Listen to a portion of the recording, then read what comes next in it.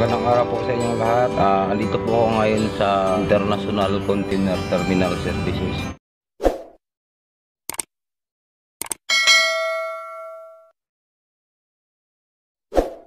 Oh, Team IP.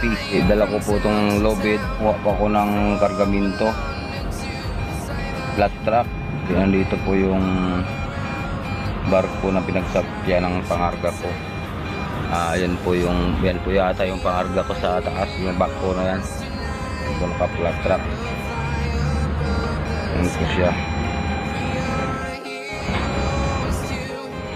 Mamaya maya po. Kakarga ko na yan.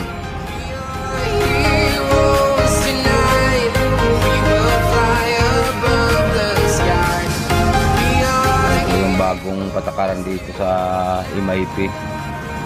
Pag may kargamento na flat truck, kailangan yung truck naka 4 hours. Dumaong yung barko, nandito ka na. Bawal ng ilapag dito yung kargamento. Na flat truck saka yung open top. Masakot barko na.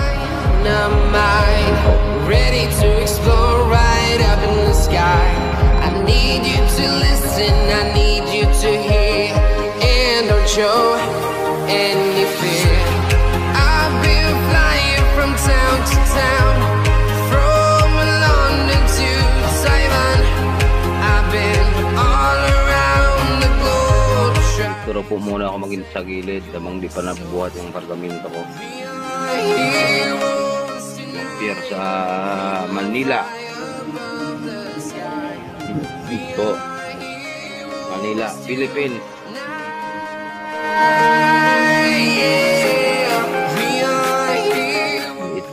Tong barko na pinagsakyan. Yung truck ko, sa Ino truck, ayun ko yung lubid ko. 40 footer, 5 axle,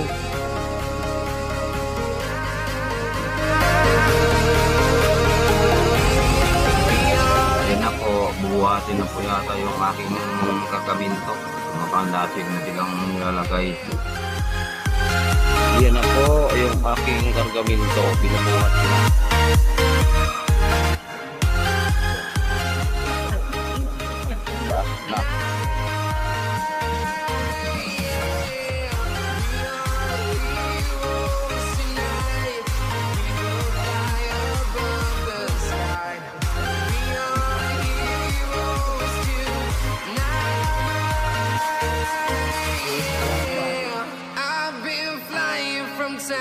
Town to town, from London to Taiwan.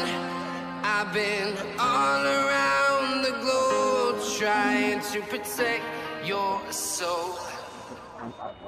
Tapos kung ikarga itong mga katrackers, paparada muna ako. Mamayang gabi na ako tatakbo para medyo maluwag yung daan.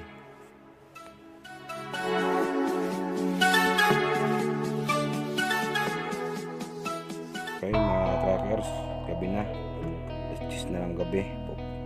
Lalabas ko na itong kargamento sa MIP. Pupunta muna ako dun sa boat para ipa-get in ko itong kargamento para makalabas na.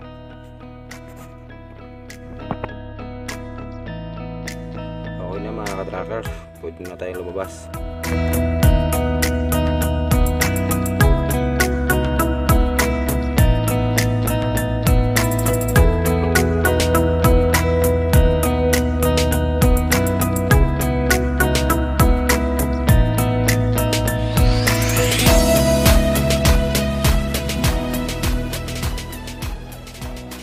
Pala mga ka-trackers, walang tao rito. Bali nakamonitor lang tayo ng camera. Pagtatapat lang natin itong may ilaw na ito sa kaliwa ko ito. Great number. Alpha Alpha Yankee 4424 4424. Container. Libra Dorme Zero Universe 600 Ayan na, brother. Nakita yung container ng number mo. Luma na eh